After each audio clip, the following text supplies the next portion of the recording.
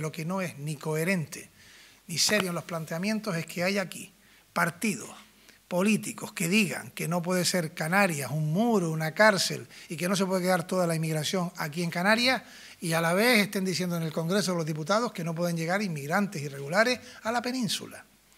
Porque eso sí que es contradictorio, porque es la misma formación política quien lo hace. No tiene que haber un solo mensaje. O se es solidario o no se es.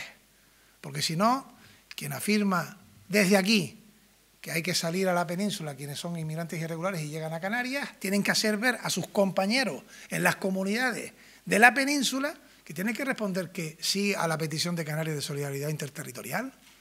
Y sigo esperando que, por ejemplo, Madrid responda, porque no tiene ninguna presión con respecto a la inmigración irregular, como tienen otras comunidades y especialmente esta, que es la que más lo tiene, no solamente de España, sino probablemente una de las que más de toda Europa.